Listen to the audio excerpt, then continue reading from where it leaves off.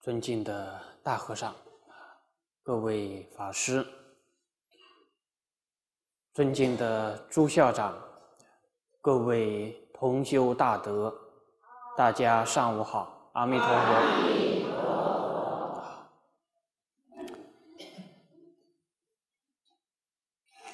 昨天我们学习到下辈往生。在三辈之中，下辈往生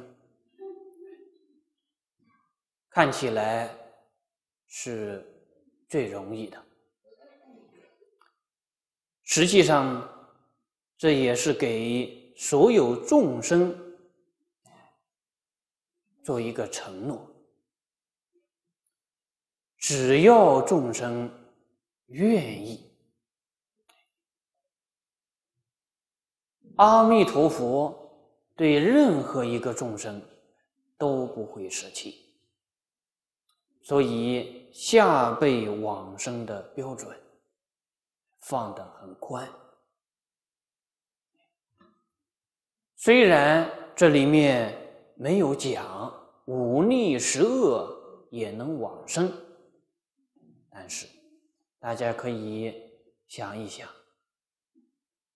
如果下辈不包括五逆十恶的话，那么这些恶逆众生到哪里去往生呢？难道是中辈、上辈吗？所以下辈往生之中，收尽一切众生，哪怕之前曾经造作一些恶业。最后能够回心向善、发愿念佛，都可以往生极乐净土。这是在经文中所包含的意趣。就是虽然经文中没有明说这个意思，都包括了所有众生，只要愿意去。至少下辈往生，人人有份。对于我们来说呢，信心要更加坚定。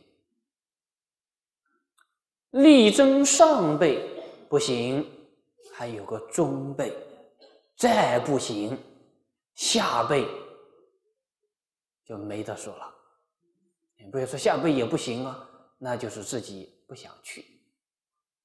没有理由说下辈也不行，所以下辈的标准没有说修功德之类的经文，就是这些都不能做，没关系，你就发心念佛，欢喜念佛，愿意往生，这就足够了。其人临命终时。跟上辈、中辈一样，临命终的时候，佛会来接引。但是下辈往生，经文是这么说的：此人临终梦见彼佛，用一个梦，梦见。可能有人会想，梦见是真的还是假的？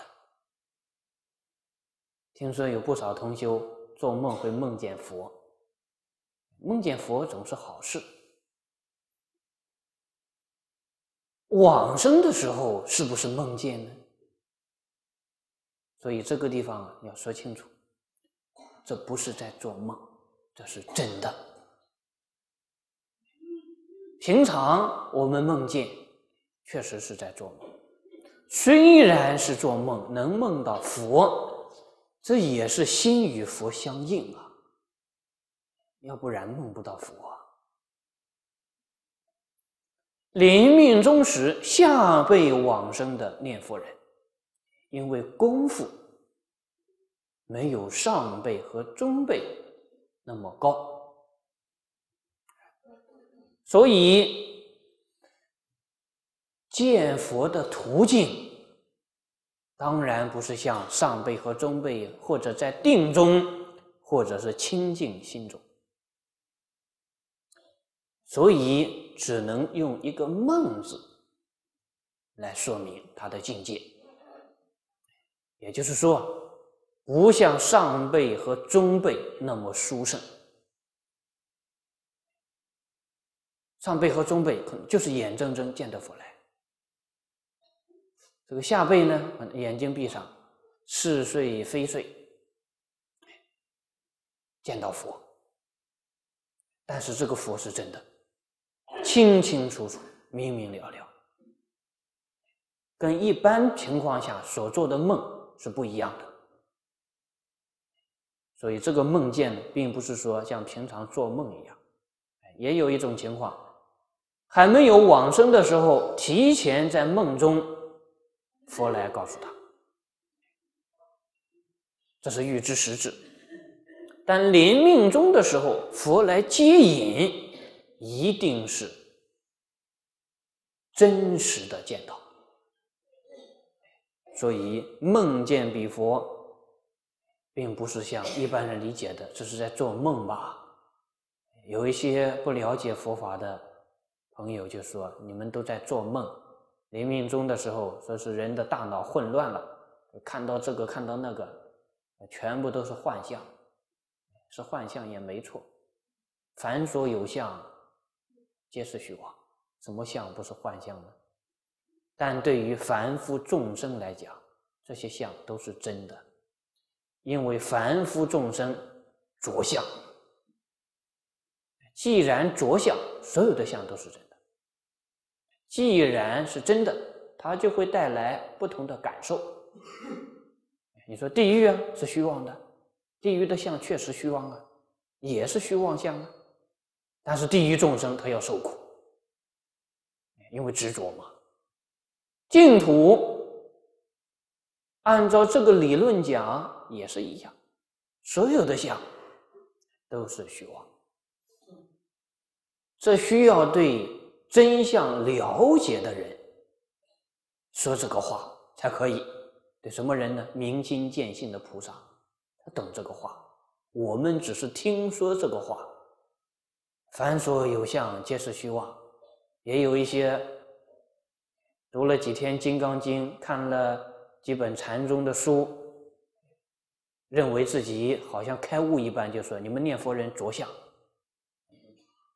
着相是着相，一点都没错。难道他就不着相吗？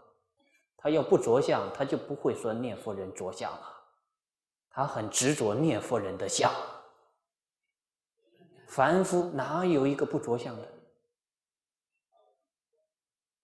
念佛人所用的方法，就是用一个相取代百千万个相，而且这个相非常善巧。它与自性相应，是阿弥陀佛真如本性所显现的真实功德。所以那个虚妄相，它就是真实相，这叫不二。妄相和真相原本不二，只是凡夫不明了这个真相。所以临命终时，佛真的会来。往生极乐世界也真的往生了，这不是在做梦，也不是头脑混乱了，是确有其事。从事上讲，往生是真去了，佛真的来了。从理论上说呢，生则决定生，去则实不去，去则实不去，就是从理上讲。到极乐世界去了，真的去了吗？其实极乐世界不出我们心性之外。既然都在心性之中，哪有什么来去之分呢？就好比我们都在这个念佛堂，你从这个念佛堂到念佛堂了，这个话说不通吗？语句不顺吗？到另外一个地方说是去了，我本来就在这里。净土本来就在自信当中，现在只不过是转换一个平头，就像电视机的画面一样，都在这个屏幕上。但是有很多频道，一二三四五是不一样啊，按一下，画面不一样，画面真的变了，但是屏幕没有变，还是这个屏幕。念佛人往生就是这一种情况，画面换了，换成极乐世界了。实际上呢，还是在道家，不离自性。这是从理上说，但是在事相上，确确实实境界不一样。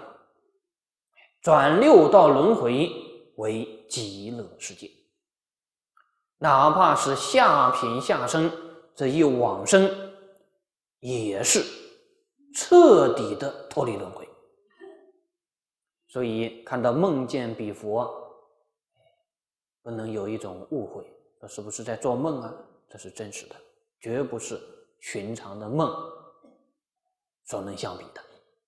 易得往生，佛来接引，随佛愿力往生净土，功德智慧是如。中辈之言，下辈往生在品位上，在功夫上，跟中辈相比都差了一点。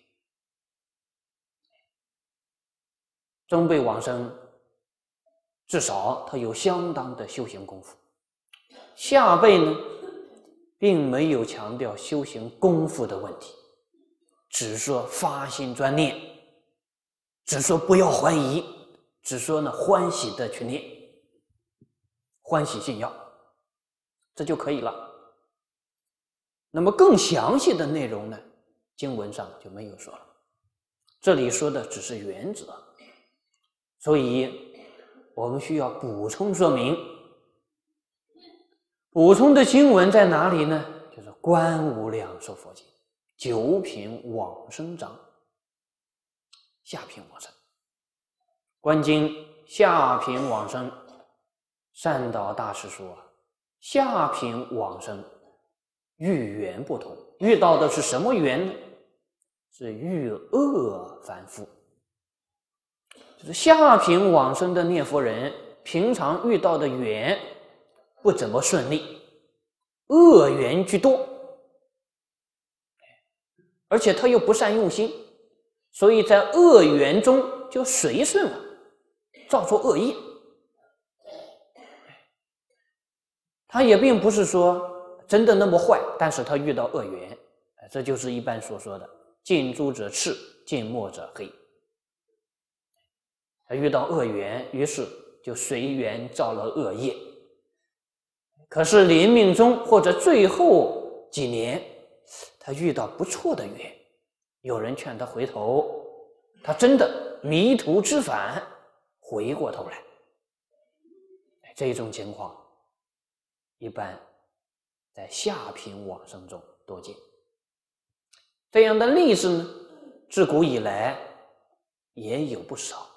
以前我们常常听过张善和往生的例子，唐朝有一位。张善和，张善和居士，他不算居士，其实他都没有皈依，一生杀牛为业，就他的工作就是杀牛，天天杀牛。临命终时，很多牛头人来找他要命，他很害怕，就请他太太到道场里面请个师傅。来帮帮他，正好有个师傅路过他门口，这是他的缘。太太就把师傅请到家，问师傅怎么办。这个师傅呢就跟他说：“你这个情况啊，别的方法都来不及了。这样吧，你赶紧念佛，按照《观无量寿经》上讲的五逆十恶，临终十念都可以往生。”于是。点了一把香，让他拿着，吸引他的注意力，告诉他：“你现在就大声的念阿弥陀佛。”哎，他就大声的念，念了几句，他就跟师傅讲啊：“说地狱不见了，牛头人也不见。这就是观经上讲的：地狱猛火化为清凉风，吹诸天花，花上皆有化佛菩萨。如经上讲的一样，师傅叫他接着念，他又念了几句，就说：“阿弥陀佛来，已经给我莲花，我要随佛往生了。”哎，这是一个真实的例子。前后也不过就十几句，这跟《观无量寿经》下品下生所讲的完全相应。下品下生者是哪些人呢？这些众生没有惭愧心，没有羞耻心，忤逆十恶全部都造，就是这个世界上所有的坏事，他都做了。他做的坏事，只有我们想不到的，没有他做不到的。我们认为的坏事他做过了，我们想不到的坏事他也做了，就是这样一个大恶人。在一般经典上，这众生肯定堕地狱，没得商量。但是在这个时候，阿弥陀佛慈悲的愿力起作用，不会舍弃的。只要最后时刻。他肯回头，佛不舍弃他。什么叫大慈大悲？那有人说了，这岂不是便宜他了？我们不想便宜他，有谁想便宜我们吗？我们以为过去生中造作的恶业少吗？我们不肯原谅其他的恶业众生，那么恶业就不肯原谅我们。在六道中，每一个众生生生世世造作的恶业不计其数。普贤菩萨行愿品里面讲的明白，菩萨自己以自己为例呀。普贤菩萨以自己为例，说：“我想过去生中无量劫以来，从贪嗔痴发身口意所造作的这些恶业。”无量无边，无法用言语去描述。菩萨举一个例子：假如这些恶业有一个体积，就是它是一个具体的东西，像物品一样，哪怕一个恶业很小，小到像微尘那么大，无量劫以来我们所造作的恶业堆积在一起呀。整个虚空容纳不下，尽虚空界不能容纳。这是假设啊，就是假如我们过去造的业可以算，可以用数目之算，可以用体积去衡量，或者拿秤去称一称的话，整个虚空都容纳不下。还好，只是假设。事实上呢，事实上恶业没有自信。它也是荡体即空，了不可得的。正因为恶业没有自信，所以才能铲除掉。如果恶业是真的，我们就完了，我们还学什么佛，还修什么行啊？所以这个地方啊，我们要明理。恶业也是虚妄，但是众生在迷的时候，恶业就起作用。所以，铲除恶业的有效做法就是觉悟、转观念。一念觉悟，认识到恶业当体即空，不再执着，那么恶业就不见了。恶业不是真的存在，但是这一念转过来相当不容易。恶业给我们留下很深的印象。那阿弥陀佛呢？提供一个方便，就是众生无法觉悟，不能把业障铲除干净，没关系。只要这个众生遇到阿弥陀佛的缘，阿弥陀佛以宏深的誓愿，直接从轮回中把他带到净土。这些恶业呢？这些恶业也带着去。就像那个张善和，杀了那么多牛，造了那么多恶业，跟着佛到净土去了。有人说那些牛怎么办呢？牛也可以到净土去哦。如果那些牛想明白了，也跟着到净土去，不是一起超生了吗？如果这些牛就是所谓的这些冤家，他想不明白，那他就在这边等着，自己受苦，痛苦是自己愿意的。你说这不公平啊？其实，在轮回中，这样的事情反反复复，没完没了。举一个例子：这一生人杀牛。或者人杀人，彼此结了恶缘。张三杀了李四，李四不服，下一次回过来再杀张三。张三不明了，认为你干嘛要杀我？我前辈子又没得罪你。其实他不知道，前辈子杀过他，但是在轮回中大家都忘记了。哎，所以张三又不服，他再一转世说：“我还要再杀你。”他不知道，第一次就是他先杀人家，但是在轮回中迷了，迷了总认为自己吃亏。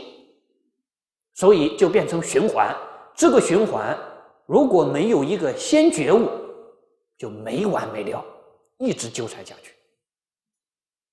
谁先觉悟，谁先解脱，没有谁吃亏，谁占便宜，一直循环下去，两败俱伤，谁都不得不得解脱，痛苦大家共同承担。哎，这样一来呢，众生倒很情愿。哦，我不我不想快乐，他也别想快乐。反正我要整死他，我整死他，他再来整我，我也愿意。这个就是众生迷惑颠倒的地方。这个张善和往生净土了，他到了净土，他就有慈悲心啊，他就发愿度众生啊，他肯定要成愿再来去帮助这些他曾经伤害过的众生，所以这才是最有效的办法，并不是说我把这些债务关系呀就放掉不管了，我就抵赖。不是这样。现在我确实没有能力一一的去偿还，我先到净土去。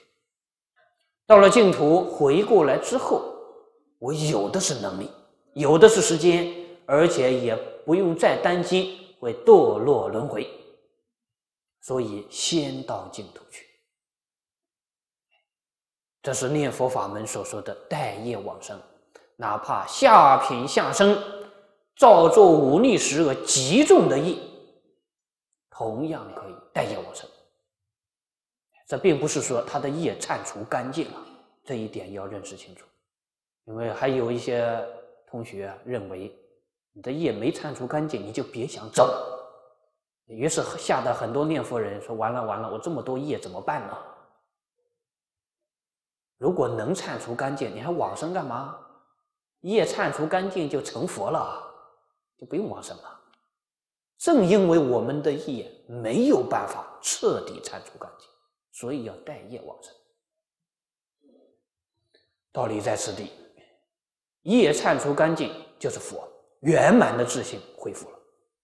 等觉菩萨以下，这些业都没有彻底干净。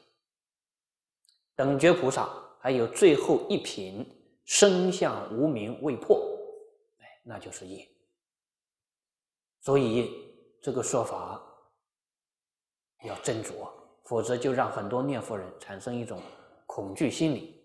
我造了这么多业，怎么办呢？这极乐世界又去不了了，很害怕。不用顾虑，以前无论如何造下很多业，我们无知也好，我们愚痴也好，或者我们故意造的也好。反正已经过去了。从现在开始，我们认识到，尽量的少造恶业。这是要认识清楚的。也不要听说，哎呦，原来带再多的业都可以往生啊，那就可以放心了。以后该造什么还是造什么吧。这就走另外一个极端了。以前的业可以带。以后的业呢，尽量少带。这样一来，表示出我们真正有心求上进，有心向善，那么才会感得佛来接引。这些地方啊，对于念佛人来说都很重要，因为有些念佛人心里面有这一方面的顾虑，担心自己业障重，念佛功夫不够，或者因为某一方面的原因而不能往生。其实这些才是真的业障，这些想法是业障，不要顾虑。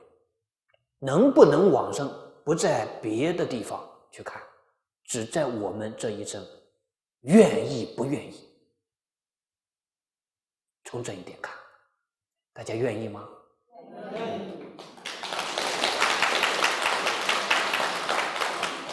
真的愿意，就把这一种愿意的想法不断的放大、加强，很强的愿往生心。弥陀经上说的：“以愿则以生，今愿则今生，当愿则当生。”以愿就是过去这些念佛人，他们已经往生了。我们今天算是哪一类呢？今愿。今愿则今生，这个今生啊，就是这一生，或者有可能就是今天了。总而言之，这与我们的愿心相应，这显示出我，阿弥陀佛很通情达理呀。说到极乐世界不是逼着大家去的，要愿意。那要让大家愿意，必须要跟大家说明到底是怎么回事。所以为什么要讲？为什么要说？就是让大家明白是怎么回事。明白之后，哦，原来是这样的，我愿意去，这就好了。这是讲经说法的目的，愿是我们现在培养的重点。信心呢，我们昨天也强调过了。从此以后，无论遇到什么情况，信心不动摇。接下来，我们培养这一种强烈的愿往生心，就像偶益大师说的一样：“千圣麒麟遮不住，前面。”有一千尊佛出现挡着，极乐世界你不要去，不要去，挡不住，啊，非去不可。万牛共挽不回头，后面有一万头牛拉，拉不住。一万头牛是什么？就是牵挂，就是执着。牛比喻什么呢？牛比喻执着啊，牛很倔强啊。比喻人很固执，比喻我们内心的牵挂执着。现在明白了，那些不值得牵挂，不值得执着，要把它放下。有再多的牵挂和执着，咬一咬牙，放下吧。你说舍不得，舍不得也把它放下，因为最终都要舍得，哪怕再难舍、再难分，最终都要无奈的舍得。还不如早一天想明白，自觉一点。对念佛人来讲，这个强烈的愿望、愿往生心啊，要强烈到这个程度。纵令虚空有时尽，假如虚空有尽时，其实虚空无尽，这是假设。哪怕虚空有尽，我愿无穷啊！这是发愿的时候常讲的。我此持名。永不休，我这一种求生净土的信愿和念佛的行持，永远不会停下来，表明念佛人坚定的信愿之心和精进的行持。这是偶益大师一代祖师为我们做榜样。念佛人要常常培养这样一种强烈的愿望生心。换个说法，好懂一些，就是要把念佛、要把往生当做兴趣去培养。这就是我这一生的爱好，念佛是我的爱好，学佛是我的爱好，把它变成我们生命的全部。之前自己有过什么样的遭遇，或者造下什么样的恶业，有什么过失，通通把它翻过去，不要放在心上了。从今天开始，新的一页掀开。过去种种，譬如昨日死。以后种种，譬如今日生，我们的法身慧命从这一刻活起来。学佛人要有这样一种信心愿力，这就是一种健康的状态。啊，不要总是挂在口上，业障重啊，我不行了，不行了。越是这样，业障就越重。佛不念，天天念，业障重。业障重，业障重，业障真的就越来越重了。心想事成吗？天天念业障重，业障就越来越重。既然知道业障重，就要忏悔。看到其他造恶业的众生，我们现在换个态度，也学着去原谅他们，学着像阿弥陀佛一样，用一种慈悲心去包容他们。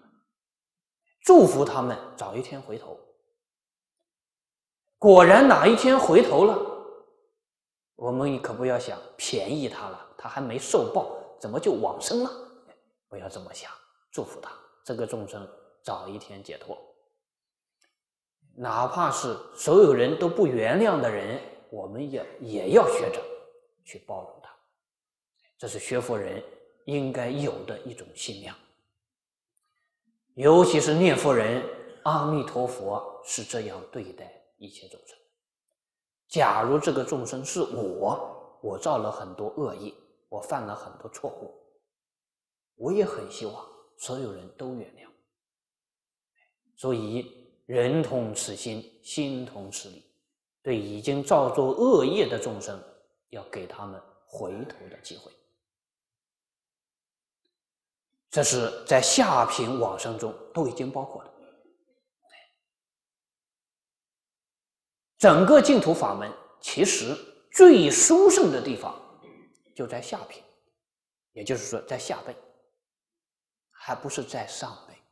上辈呢是修行人最殊胜的成就，但对于多数众生来讲，不可能每一个人都上辈往生。所以对于多数众生来讲，下辈往生，实际上最具意义呀！它将一切众生全包括了。所以下品下生是古来的祖师大德最为赞叹的一段经文。查遍大藏经，再找不到类似的经文。一个造五逆十恶的众生，马上就要堕地狱了，你有什么方法？让他不堕地狱，而且保证成佛。你说我给他讲一部殊胜的经，给他念一个了不起的咒吧，来不及了，一二三他就断气了。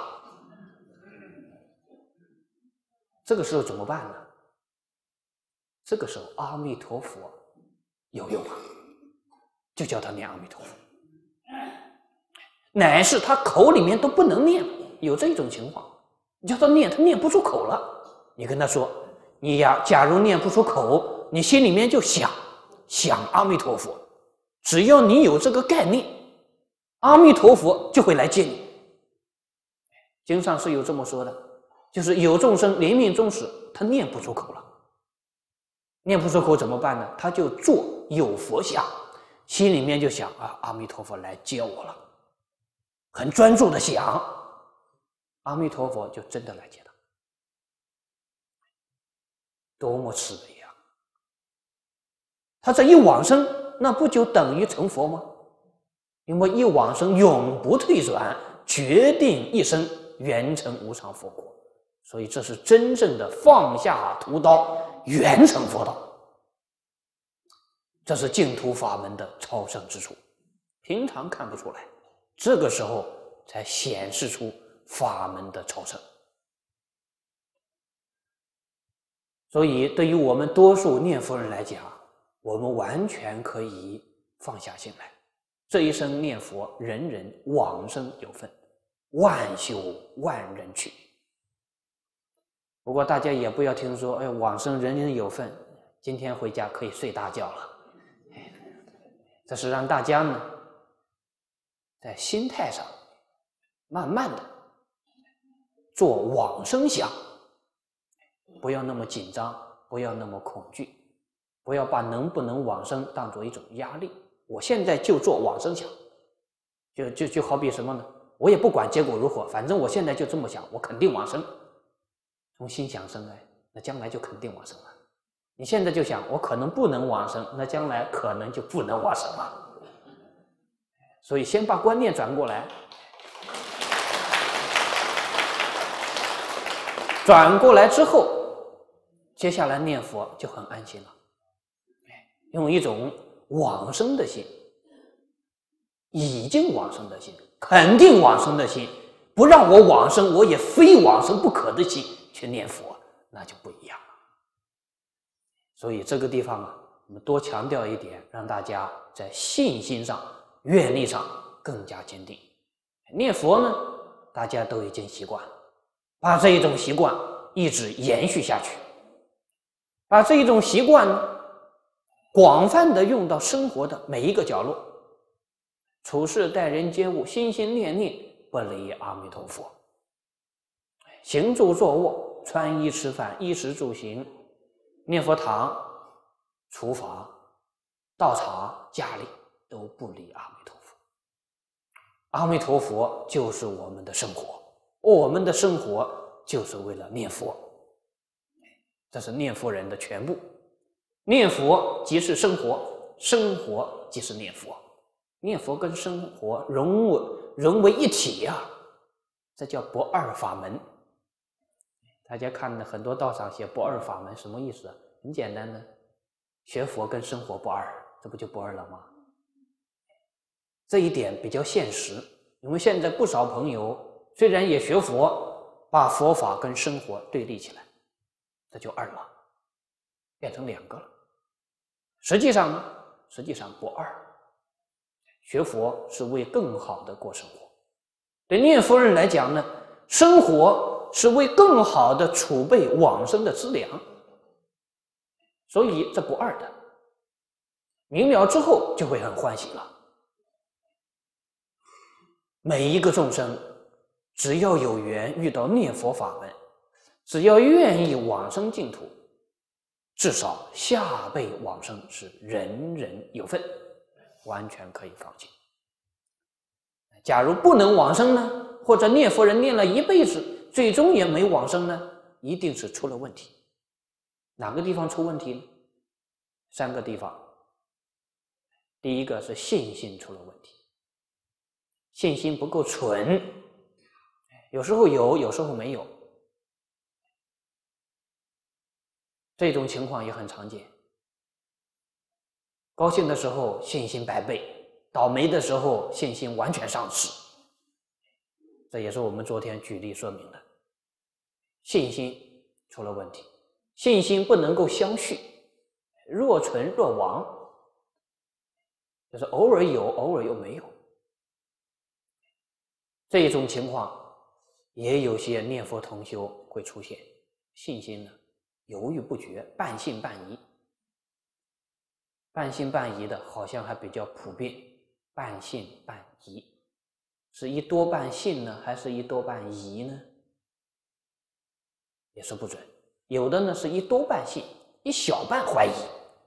我也信，可是有时候想想也有点怀疑。半信半疑。有的呢是。一小半相信，一多半怀疑。我有一点点相信，可是有很多东西我还是怀疑。半信半疑，这会障碍念佛人往生。信心一定要坚定，要说服自己。你说有些我确实很想信，可是确实生不起信心，怎么办呢？可以用两个办法，一个是多听经闻法，断疑生信。另外一个呢，多念佛，佛前求佛力加持，忏悔业障，疑呀也是业障啊，根本烦恼啊，贪嗔痴慢，后面就是疑啊，所以疑也要忏悔呀，不要认为自己会疑惑很厉害啊，疑是根本烦恼。那还有些同学说了，那为什么禅宗讲？小疑则小悟，大疑则大悟呢？这要弄清楚了。教学的方法不一样，禅宗那个疑是一种疑情，其实它是一种启发，并不是真的在怀疑。那是善知识给学生一个考题，你抱着这个考题好好去研究，那是一种移情。它的用意呢，其实跟念佛一样，是让你在这个问题上把心安下来，你就天天思考这个问题，天天参究这个问题，参到一心不乱，豁然开悟。这是用的另外一种方法，其实用功的道理都是一样的。而念佛法门呢，一开始就强调不要怀疑，这样心才能安下来，同样是安心。所以不要把这两个法门混到一起，这是教学的方法不同，但是最终的效果是异曲同工的，都会收到类似的效果。那现在我们讲念佛，当然要用念佛的方法。第二个问题呢，就是愿，愿心出问题，所以我们要多强调愿。因为有时候啊，我们认为的愿是这样的情况，跟信心一样，半信半疑。愿呢也会半愿半不愿。极乐世界大家要去吗？看一看有没有人回答。看看周围很多人回答，那我也赶紧回答。看看旁边没人回答，我也就不回答了。这是什么呢？这就是自己并不是真的很愿意。看看别人愿意，我也就愿意吧；看看别人不愿意，我也不愿意了。这是一种人云亦云的愿，自己并不是发自内心的。那这样一来，这个愿就不强了。大家都愿意，于是我也愿意；大家都不愿意呢，我也不愿意了。哎，这样一来，大家都在互相看，于是变成互相靠，靠到最后全部都倒下。谁也靠不住，所以我们必须要强调，哪怕所有人都放弃，说极乐世界我不去了，我去，要有这样坚定的，发自内心的、很真诚的在佛前发这个愿。其实我们这个念头一动，佛就知道，真正愿往生净土。对这个世间的一切态度上就不一样，怎么不一样？对待这个世间的一切，就会看得很平常。这就是古人说“平常心是道”。什么叫很平常呢？世界很好，不错；世界很乱，也不错；这个人好，也不错；那个人不好，也不错，都不错，都很好。就好比什么呢？我们出去旅行。出去旅行到哪里，那里跟我没关系，我只是来欣赏，我只是来走马观花，我并不是要在这边常住，所以那边的一切，我并不会把它真的放在心上。我遇到呢，当然也会打招呼，我也会客气客气，该做什么我还是做什么，但是我知道我是个过客，我不会在这边。长久的住下去，所以在心态上呢就会很轻松，哎，这就是所谓的自在。所以古人说念佛人要有这样一种观念：我们在娑婆世界是做客，而且这个做客的时间也不是很久，我已经预定了若干年或者今年的哪个月飞往净土的航班，我都已经预定好了。所以在此之前，我就当着跟大家道别了，一一的跟大家把关系处好。之前曾经结过恶缘的，主动的道个歉，免得结来世怨。这是真正念佛人愿往生心生起来要有的态度。我们到极乐世界去了，所以这个世间的一切，我不会过分的执着。看到众生受苦。出于慈悲，为这些众生祝福，为这些众生回向，有能力尽力的给予帮助。但是我们现在凡夫没有办法彻底的帮助一切众生离苦得乐，所以我还是要到净土去进修。这两者并不矛盾，带着这一种慈悲心，随佛往生，到那边进修，不因为这个世间任何因缘而产生牵挂，这是真正的愿往生心。那有人说，假如是为了利益众生呢？假如真的是有这样的慈悲心，为利益众生，那斟酌情况。什么叫斟酌情况呢？确实，这个人留下能够给众生带来很多的利益，那不妨留下来再多陪众生几年，也不是不可以。但如果是贪生怕死留下来，那就不是留下来，那是想走也走不了啊。所以这观念上不一样。真正愿往生的人，他在心态上。就会把世间看得很平淡。他这一次来就准备潇洒走一回了。他就是在这个世间旅游，游行自在。念佛人要有这样一种心态，就不会看这个世间生那么多烦恼了。这个时候或许能够慢慢理解，为什么过去的这些古大德，他们有时候啊。看待这个世间的很多是是非非，那么自在，那么坦然，那么无所谓。有时候一般人不容易理解。比如有人来说好，好；有人来说不好，也好。我们就觉得，这老修行是不是有问题了？他正好是没问题了，因为这些跟他都不相干，他根本不会放在心上。倒是我们在这个里面很执着、很计较，于是生下太多太多的烦恼。这是愿，我愿往生净土，我不愿意搞轮回。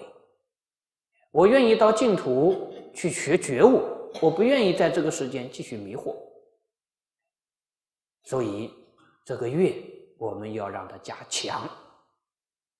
那么，有一些念佛同修呢，这一方面有时候。会有一些挂碍，老同修也不例外。一些老菩萨、老人家，虽然在这边念佛，家里面有很多牵挂。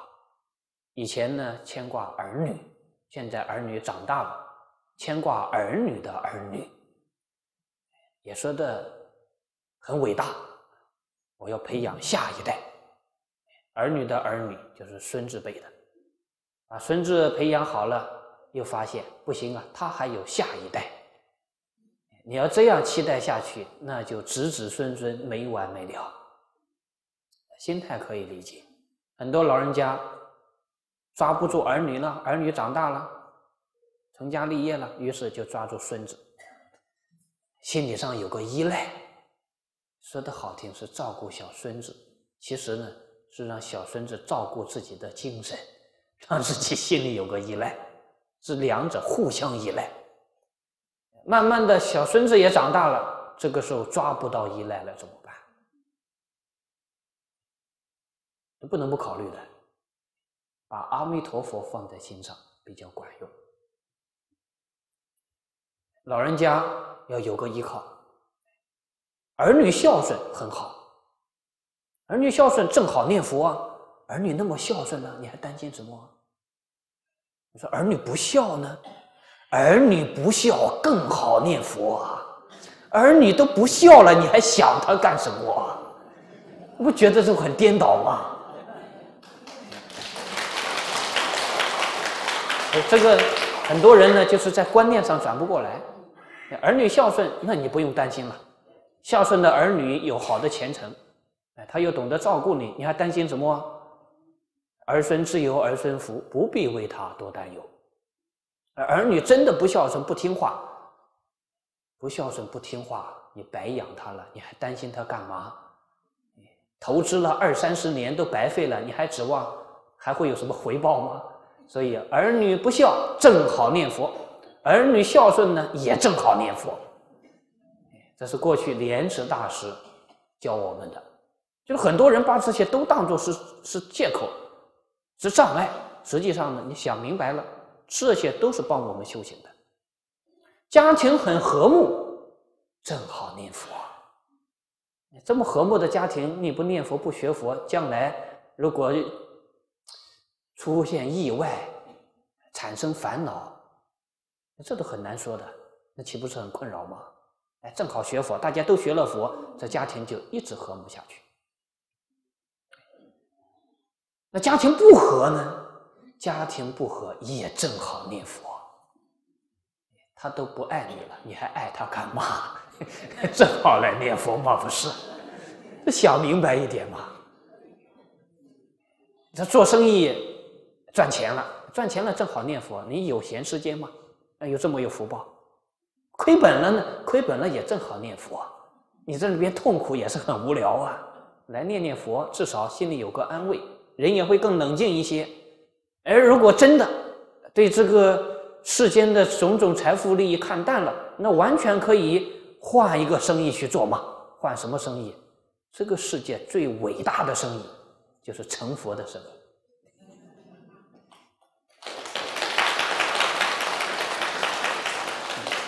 你看人家释迦牟尼佛，以为人家放弃了国王，很多人以为这样做好像很傻，不理解。释迦牟尼佛想的比我们高明多了。一个国王有什么好留恋的？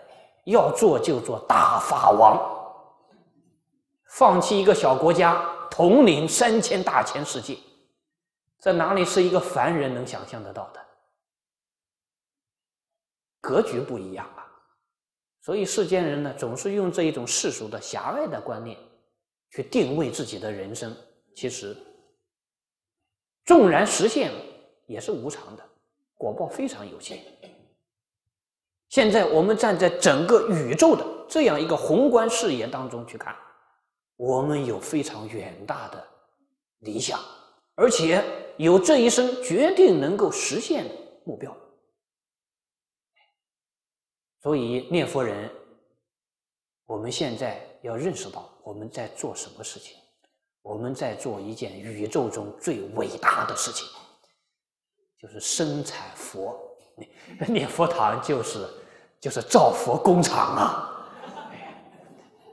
那我们我们朱校长慧平法师就是这个工厂的管理人，大家进来就是进来加工成佛。这个产品将来可以到宇宙中去推销，这个才是最有意义的、永恒的价值，把我们一个凡夫。而且即将报废的凡夫，即将报废呀！年岁越来越大，社会没人要了，是不是即将报废呀？即将报废的凡夫再加工，变成宇宙中最有希望的产品，这个才是真正的希望工程啊！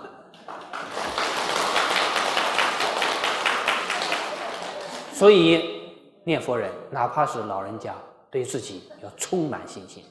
不要总是觉得，哎呀，老人家了不行了，被人嫌弃了，没希望了。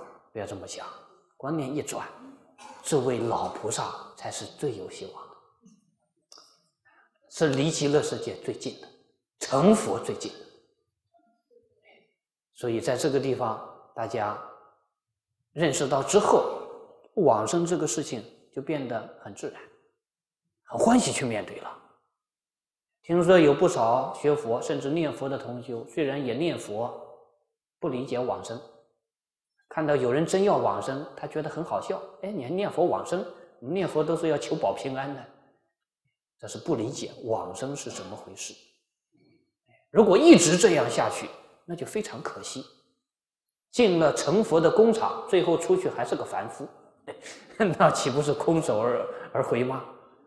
所以认识到之后。我们就要把握，这是一个无量劫来稀有难逢的因缘，怎能错过？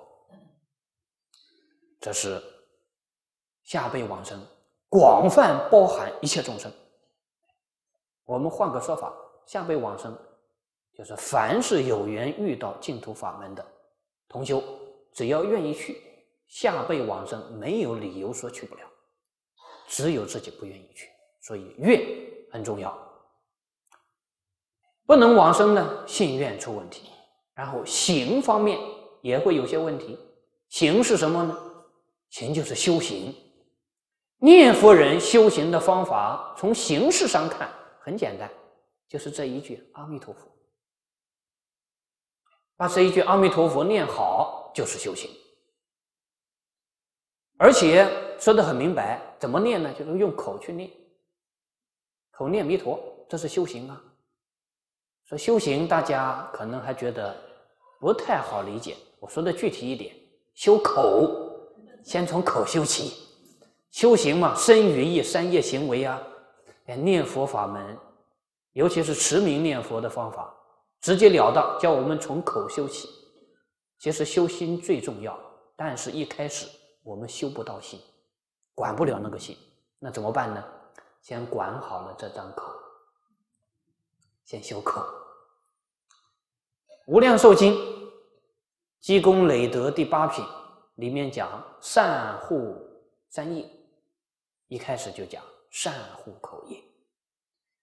在众多的行为中，这个嘴巴是最不好修的，真是不好修。嘴巴不仅仅会吃饭呢，嘴巴还会造业。嘴巴能够帮助一个人，也能害死一个人。嘴巴能够带我们到极乐世界去，也能把我们送到阿鼻地狱。所以这个嘴巴很厉害，要管好它。所以念佛人修呢，就先从口修。口最容易说是非。最容易说这些无意义的话。现在呢，我们念佛，是非呢就少说一点，是非少说一点，好不好？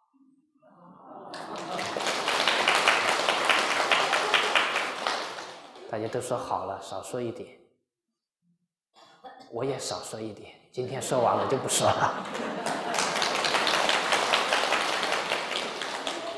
少说一点呢，大家还没听明白。少说一点呢，就是还会说，只不过说的少一点。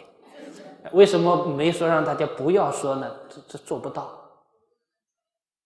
就是跟大家说不要说，不要说，走出去又说了，说了之后，哎呀，我又说了，于是又忏悔，忏悔完了又说，习惯了，养成习惯了，有意无意就这样，所以才说呢，尽量少说，不要说是非，是非天天有。不说，自然就没了。是非怎么来的？本来芝麻绿豆大点的小事情，就是被大家说过来说过去，变成国际新闻。就是这样。所以古人说啊，谣言止于智者。谣言就是无根的传言，不管它对还是不对，只要是负面的，有智慧的人听到，马上制止他，你不要再说了。再说会造成极大的负面影响。那么我们学佛人也算是个智者呢，大家学觉悟有智慧呀，所以有智慧的人不要说是非，不要说有两个意思，一个是自己看到是非也不要说，就是有也不要说；另外一个意思，别人说是非给我们听，我们不要再说给别人听。我们不要变成别人的传话筒，啊，这一点很关键。这个就是有很多人呢一种习惯，他跟我说的，我跟你说，你有空呢再跟别人说。有这个时间，为什么不念念佛呢？为什么不说说佛法呢？所以先从口上修，行上支持名号，一向专念。如果信愿行这三方面都没有问题，那么这一生肯定往生。这是上中下三辈，最起码我们这一生下辈往生一定要争取。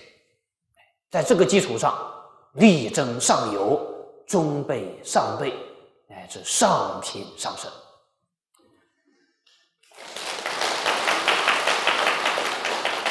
好，前面的经文呢，我们基本上就学习圆满，告一段落。那么后面还有一段经文，这一段经文是另外的，是在三倍往生之外补充说明。称为一心三倍，就是修学其他法门的同修念佛往生净土，可不可能呢？也可能的。阿弥陀佛有这个愿，修学一切法门的行人，只要愿意往生，阿弥陀佛都会来接引。好，这一段经文留在下午再继续学习。谢谢大家，阿弥陀佛。